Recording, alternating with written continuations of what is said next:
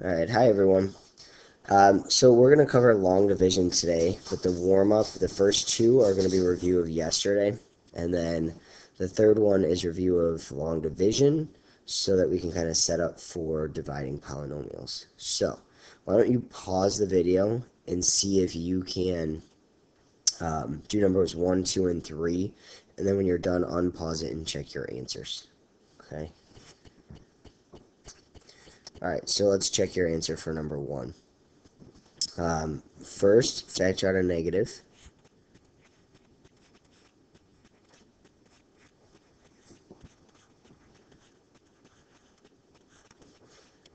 Okay.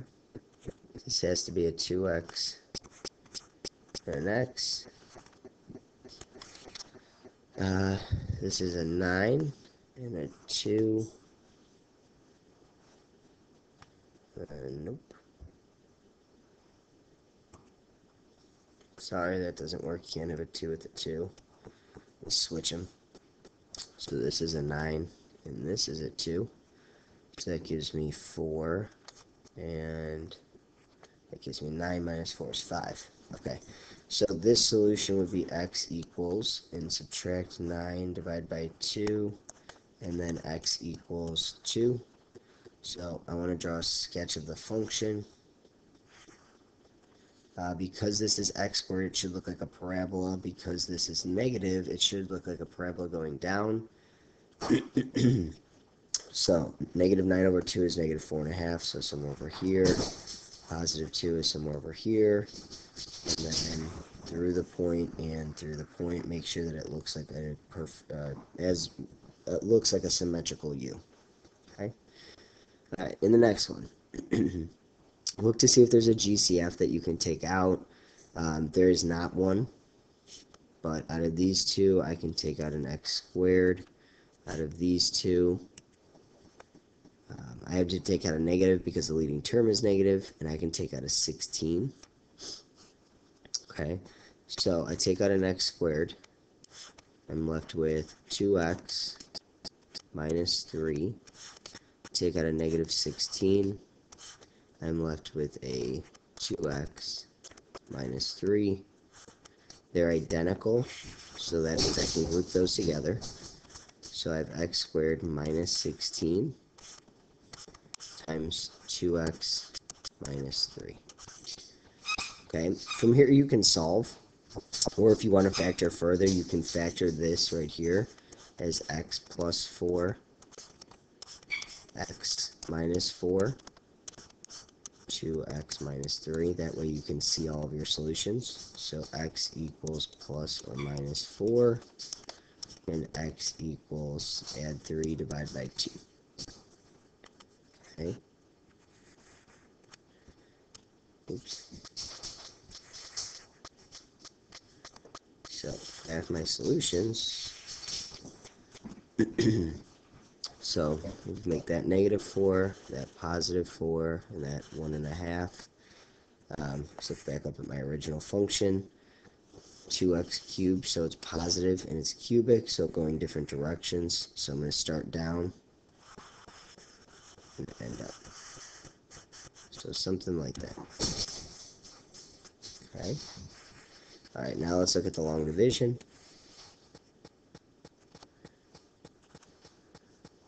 Okay, so I'm going to divide 9, 2, 8, 4 by 20. Okay, so 20 does not go into 9, but 20 does go into 92 four times. Multiply 4 and 20, you get 80. Subtract, you get 12. Bring down the 8. 120 goes into 128 six times. 6 times 20 is 120. Subtract, get 8. Bring down the 4.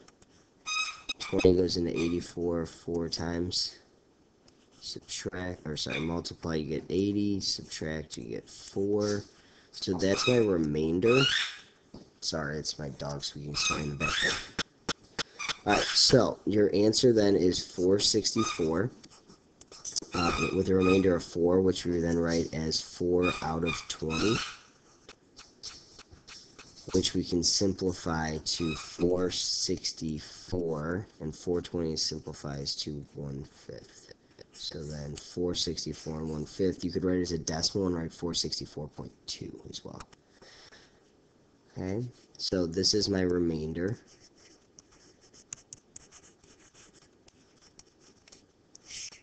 Your remainder you always put over your divisor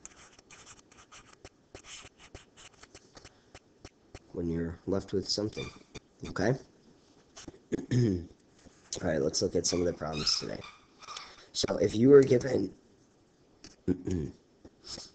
excuse me, if you were given this problem and you were told the same thing as number 1 and 2 in the warm-up and told to find the zeros, the only thing that we could do is factor by grouping. There is no GCF, so I'm going to take out an x squared here, and here I'm going to take out a 2. So if I take out an x squared, I'm left with 3x plus 16, and then I'm left with plus 2, I'm left with 9x plus 4. Okay. Notice that these two are not the same, and if those two are not the same, then I can't group together the x squared and the 2. So, if I can't factor this by grouping, then it means that this is not factorable. So not factorable.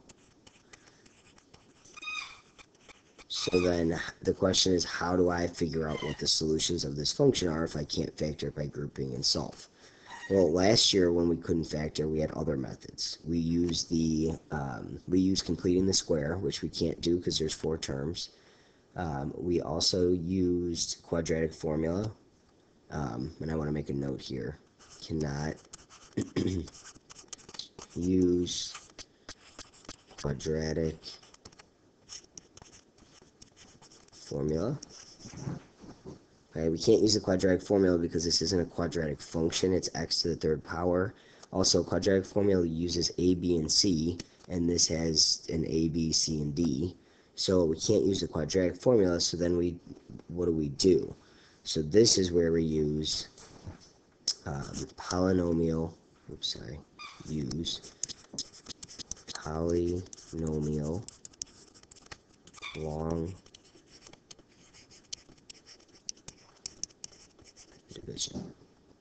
Okay, and it gives us an option to be able to actually come up with a solution. Okay, so first thing, we want to give ourselves some room when we do these. They're going to take a little bit of room, so try not to cram any numbers together. I try to give you plenty of space here. So we want to find the quotient of x squared minus 5x minus 20 divided by x minus 4 using polynomial long division. So we're going to start with writing out x squared but again, give yourself some space.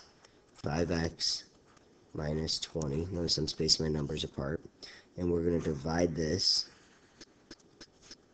by x minus 4. Okay, so here's the thing with polynomial long division. I want to figure out, I want to always get rid of my leading terms. You're probably going to have to watch this once or twice before you kind of get the hang of it. so I want to figure out how to get rid of my leading term. Whatever I put over my term, I have to put as a like term. So for instance, above this, if I want to put something here, I'd have to put an x squared. I could put a 2x squared, a 3x squared, a 4x squared, but I have to, the variable has to be an x squared.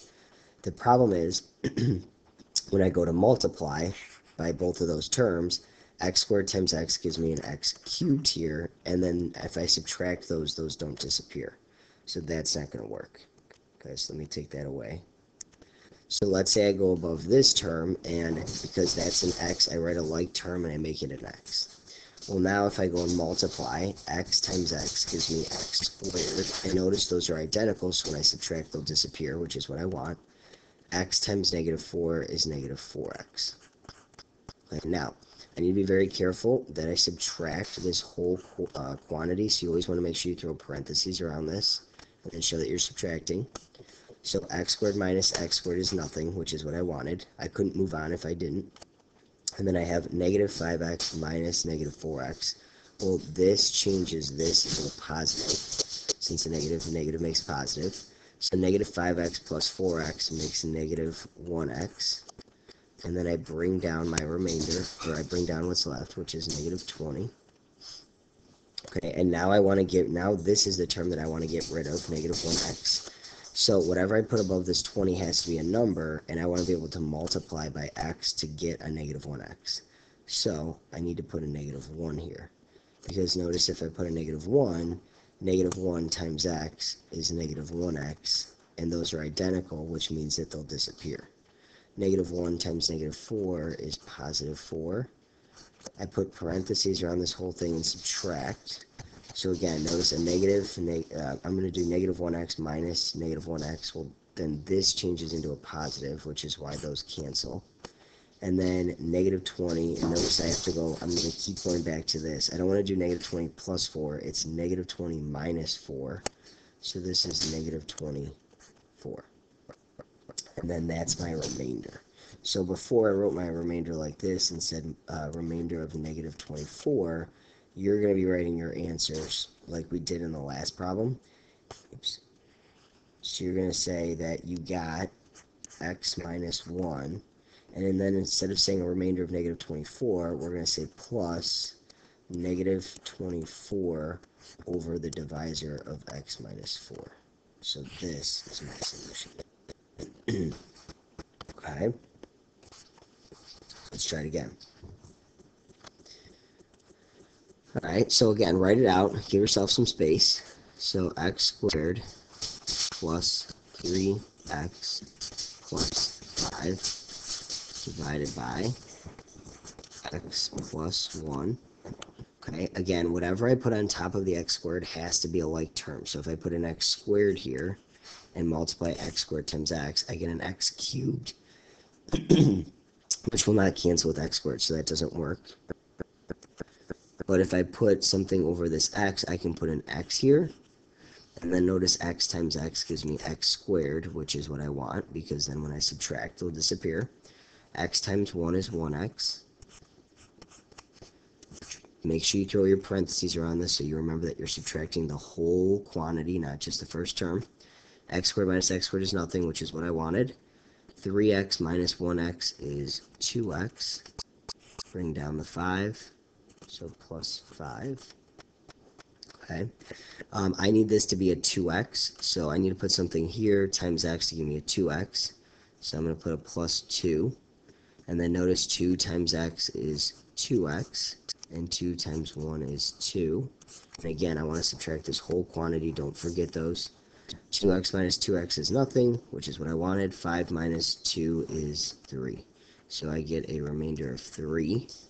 So my answer, when I divide these, is x plus 2 plus 3 over my divisor of x plus 1.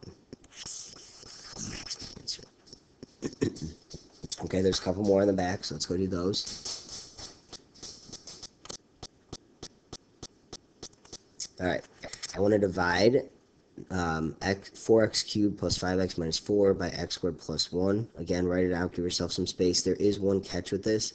Notice that here we're missing a, an x squared term, so when we write it out, we want to show that that term's there. Um, if we don't show it, we lose it, then our answer will be wrong. So we have 4x cubed, and I'm going to write plus 0x squared, that's my placeholder, plus 5x minus 4 and I'm going to divide this. And notice in my divisor I'm missing a term 2. So I'm going to say x squared plus 0x plus 1. Alright, I'm actually going to make one small change to this. Do me a favor and actually erase this. We're going to change, instead of 4x to the third, we're going to change to 4x squared. So this will make it 2. So we'll make this 4x squared plus 5x minus 4. That way we only have one term that's missing and it's in the divisor. Okay? Alright, so anything that I put above here would have to be like an x squared. x squared times x squared is x to the fourth, so that's not going to cancel. So if I back up and I make this an x, x times x squared is x to the third, so that's not going to cancel. So I'm actually going to go all the way back to here, and I'm just going to put a 1 here. Okay, notice if it's a 1, 1 times x squared is 1x squared, but I need this to be a 4x squared, so I actually want to make this a 4. Okay, watch. So 4 times x squared gives me 4x squared. 4 times 0x is plus 0x, and 4 times 1 is positive 4. Put parentheses around this whole thing and subtract. 4x minus 4x is nothing, which is perfect. That means I can continue. 5 minus 0 is 5x. And negative 4 minus 4 is negative 8. Again, not 0. You have to subtract every term.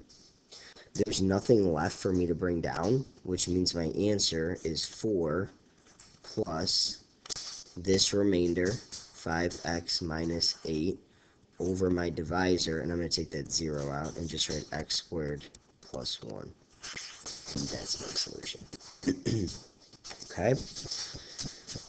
Um, at this point, if you want to try one on your own, feel free. Otherwise, you can watch me and I'll do it again. So notice I have no missing terms. So I have 3x to the third plus 16x squared plus 18x plus 8. And I'm going to divide this whole thing by x plus 4. Okay. Alright, I need to get a 3x to the third to cancel. So in order to get an x to the third, I need to multiply x by x squared, and I need it to be a 3. So I need a 3x squared here, okay? When I multiply 3x squared times x, I get 3x to the third, which is what I wanted.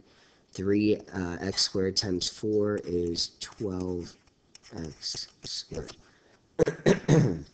Notice that everything that's lining up are like terms. You should always be having like terms line up. Okay, I subtract this whole thing. Make sure you parentheses. Subtract my first two terms. They cancel, which means I can move on. 16 minus 12 is 4x squared. Bring down my 18x, my positive 18x. Okay, now I need a 4x squared to cancel. So I'm looking for what times x gives me 4x squared. Well, I need a 4, and the only term that this could be is an x, since it's over an x. So 4x times x gives me a 4x squared plus 16x. Put parentheses and subtract. My leading terms cancel, which is what I wanted. 18 minus 16 is 2x. And I have to bring down my 8. So plus 8. Okay. Now I need a 2x to cancel. Um, and over an 8 can only be a number, so I need this to be a 2. So 2 times x gives me 2x and plus 8. Subtract all of this. So notice 2x minus 2x cancels, 8 minus 8 cancels, and I get left with a remainder of 0. So that means when I divide these, my answer has no remainder. It's 3x squared plus 4x plus 2. Alright, the fact that there is no remainder, we want to make note of this. Um, that means, so that means that x plus 4 is a factor. So that means if you were able, if you were able to factor this out, so that means you can factor this out and x plus 4 would be a factor. That also means if x plus 4 is a factor, if you were to subtract 4, that means that x equals negative 4 is a solution. So that means if you were to graph that function, your function would hit at x equals negative 4. So anytime you get no remainder, it means that it actually is a factor of the, the polynomial. Okay, let's keep moving on. Alright, notice that this one, notice that this one has a lot of missing terms. So we have x to the fourth we're missing x to the third, so I'm going to write 0x to the third plus 0x squared, and then I can pick back up and write minus 13x minus 42. I always want to have placeholders. Divided by x plus 2. okay? So I need to get rid of an x to the fourth, and I multiply by x. So I can do that by putting an x to the third here. multiply x to the third times x, I get x to the fourth plus 2x to the third. I want to subtract these. Um, you would know that you missed a placeholder here if you do not have terms lining up that were like terms. So these, notice these are like terms because I put that placeholder there. Okay.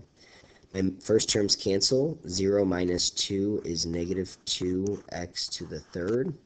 I bring down positive 0x squared. Okay, I'm looking for a negative 2x to the third. So this has to be a minus 2, and it's got to be an x squared since it's above the x squared.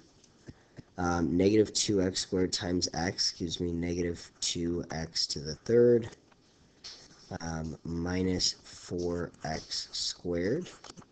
I want to subtract these. Negative minus a negative, that becomes positive, so those cancel, which is great. A negative negative makes this a positive 4x squared, so 0 plus 4x squared is 4x squared. Just be careful with your handwriting here that things aren't getting too smashed together, because then we start losing positives and negatives, and, and things start disappearing or changing. Alright, bring down your negative 13x. So now I need a 4x squared, which means above this I want to have a plus 4x, again like terms. 4x times x is 4x squared. 4x times 2 is 8x. Parentheses around it, subtract. First terms cancel. Negative 13 minus 8 makes negative 21x and then I want to bring down the negative 42. Okay, I need a negative 21x, so this has to be a minus 21. Okay, multiply that. And a space here. I get negative 21x plus 42. Put parentheses around it, subtract Alright, my first terms cancel. It's very easy to put a 0 here because we see a plus and a minus, but remember this is negative 42 minus 42, which makes negative 84. Okay, so my answer is pretty long. My answer is x to the third minus 2x squared plus 4x minus 21 plus negative 84 over x plus 2. Okay? And if you wanted to, you could write, oops. And if you wanted to, I always circle these because once you start getting all this work in, it starts to become messy. So that's my answer. If you wanted to, you could actually replace this plus sign with a minus sign and just write 84 for x plus 2. But I don't care. Alright. Next problem, last problem. Alright, um, notice that I have a to the fourth, to the third, I'm missing a squared. So this would probably be a good time for you guys to pause it, try one problem at least on your own if you haven't already, and then check back and see how you did. Okay, so I have a 2 x to the fourth minus 6x to the third plus 0x squared plus 5x minus 1 and I'm going to divide this whole thing by a trinomial this time, which I ran out of space.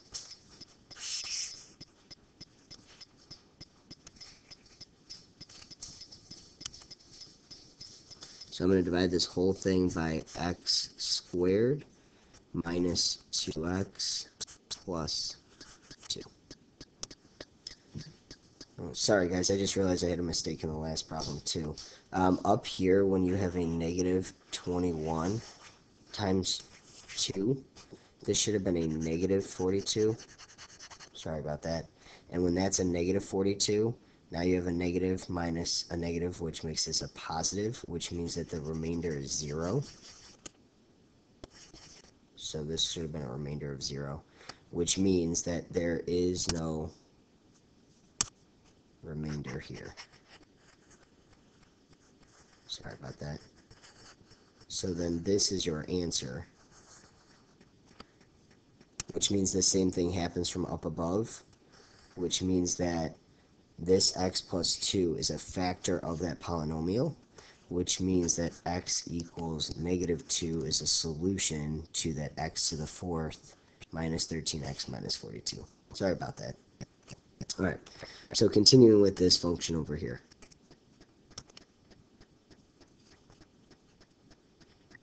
Myself some room here. Okay, so we got to figure out where to start. We need a 2x to the fourth to disappear. Um, so I'm trying to think what times x squared would give me an x to the fourth. So I'd have to jump all the way over here to this x squared. Okay, x squared times x squared is x to the fourth, but I need to make this a 2 so that it becomes a 2 like this.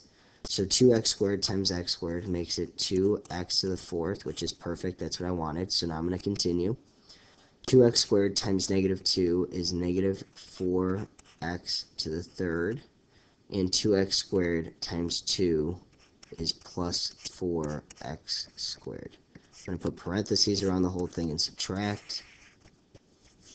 My first terms cancel, which is perfect. This negative and negative make a positive. Excuse me. So that's a positive, negative 6 plus 4 makes negative 2x to the third. 0 minus 4 makes negative 4x squared. I'm going to bring down this positive 5x. Now I'm looking to make a negative 2x to the third. So in order to make it a negative 2, um, I'm trying to multiply by that x squared. I need this to be a negative 2, and then it's got to be an x since it's above that term. So negative 2x times x squared is negative 2x to the third. Negative 2x times negative 2x is positive 4x squared. Sorry, squared. Negative 2x times 2 is negative 4x. Put parentheses around the whole thing so I can subtract it. My first terms cancel since this becomes a positive. Um, negative 4x squared minus 4x squared does not cancel. It's an 8x squared. 5 minus a negative, so this becomes positive 4. So then this becomes positive 9x. And now I want to bring down my negative 1. Okay, I need to get a negative x squared. Let me move this out of here. Okay, in order to get a negative x squared, I need to have a negative 8 up here. It's a negative 8 for some reason. Alright, negative 8 times x squared makes negative 8x squared. So those are going to cancel, so I'm going to continue. Negative 8 times negative 2 is positive 16x. And negative 8 times 2 is um, negative 16. Put parentheses around the whole thing, write subtraction again, don't forget that. Um, these two are going to become positive, which makes that cancel. 9 minus, this is a 16. 9 minus 16 is negative 7x. And this negative and this negative are going to make a positive, so 16 and negative 1 makes positive 15. So in this one, we do have a remainder. Okay, so my answer is going to be 2x squared. 2x squared minus 2x minus 8 plus negative 7x plus 15 over my divisor, which was x squared minus 2x plus 2. Okay. Right. And then for your homework, you guys are going to do a lot of the same and you're just going to practice long division. Okay, the only way to get it is to keep doing it. So you have two problems there. You have two problems there. Make sure you look for placeholders. You have two problems there. So that's six problems. And you got two more in the back. So you got eight problems to practice. And then I put some review in here um, that I thought you might need after the quiz. And then some more graphing as review as well. Okay. Um, for these eight first eight problems where you're doing long division, if you don't think that's enough room, don't cram it in. You're going to end up losing positives and negative signs and stuff like that. Just use a scratch sheet of paper, and then you can give yourself as much space as you need. Okay? Right, I will be back on Thursday morning if you guys have any questions and want to go through this. On Thursday, we're going to talk about another method that you can use um, to solve a function.